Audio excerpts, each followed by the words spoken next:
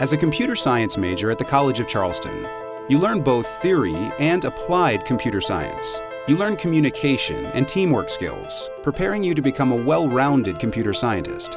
Our tight-knit program means that you work closely with professors on coursework and on research. It's my first coding class. I had no programming experience before, and I was able to go into my professor's office almost every day. I was totally able to understand everything that was happening because I went into him.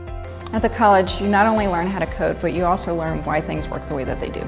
You learn what's happening underneath it all, which allows you to apply your skills in a broad way. It was like a community for us. Everybody helped each other fit in both socially and academically.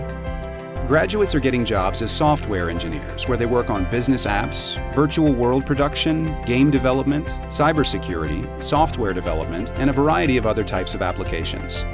You'll be able to engage in a variety of research topics, beginning early in your college career. Up being able to do some research with the school my sophomore year, uh, working on a recycling application for the College of Charleston and the City of Charleston in general. Seniors can take an industry projects course, helping to solve real-world problems for high-tech firms in the region, such as Mercedes-Benz, Bosch, and MUSC. This capstone course builds bridges with industry and provides tangible opportunities for our students.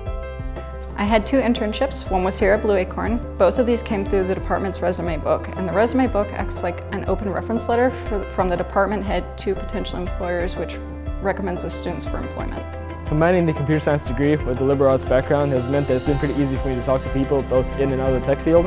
It's also helped open a couple doors for me so far.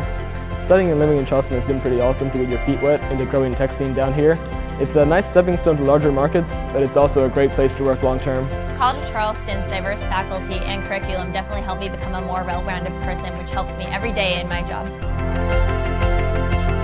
Employers like hiring our graduates because they are so well-rounded. You will get an education that enables you to remain a lifelong learner.